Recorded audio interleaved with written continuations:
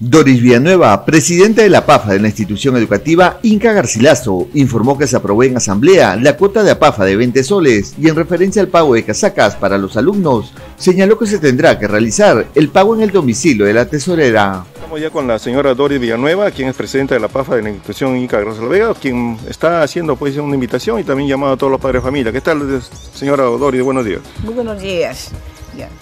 Eh, esta oportunidad quiero dar mi saludo a todos los señores padres de familia y al mismo tiempo también invitarles que por favor eh, se acerquen a pagar los 20 soles de cuota de APAFA.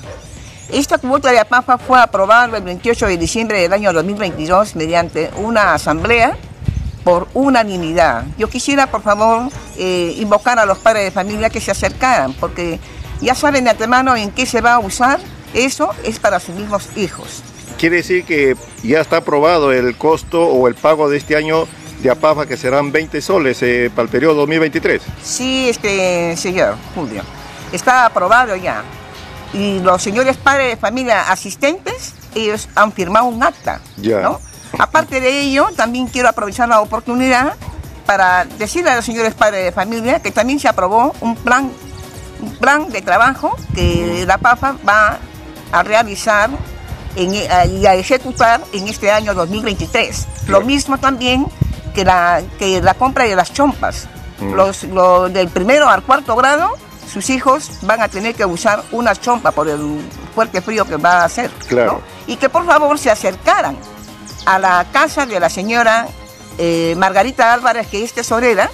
Ella eh, está llana a recibirlos para que tanto para la cancelación de, la cuota de paja como también para pagar las chompas. Para las chompas. Ya, en Avenida Larco número 12, en el horario en la mañana y en la tarde. No hay disponibilidad de hora, que vayan nada más los señores padres de familia. Eh, esto significa, señora Doris, que si al caso un padre de familia no logra cancelar el precio de la PAFA, eh, ¿no estaría matriculando o sí tiene opción a matricularse? No, de ninguna manera ellos son libres de matricular a sus hijos. Esto no hay una condición de decir, si no pagan, no, no matriculan, no es así. Al contrario, estoy yo prácticamente pidiendo por favor.